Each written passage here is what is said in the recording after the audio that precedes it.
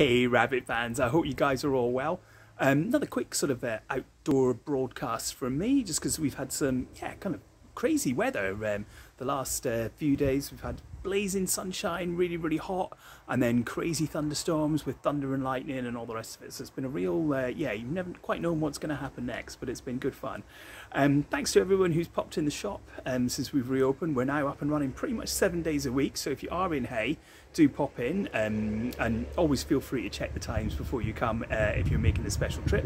We've had some great new deliveries, um, loads of exciting accessories, um, vegan bags, uh, recycled tile wallets, uh, more socks as well. a big tractor going past me there now.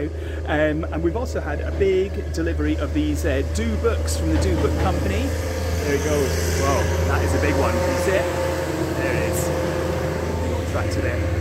Uh, but the Do Book Company do these amazing um, books, kind of little, I guess, sort of um, inspiring little uh, tomes um, on a, a, number of different subjects. Great new uh, delivery of them, so we'll have them in the shop and online.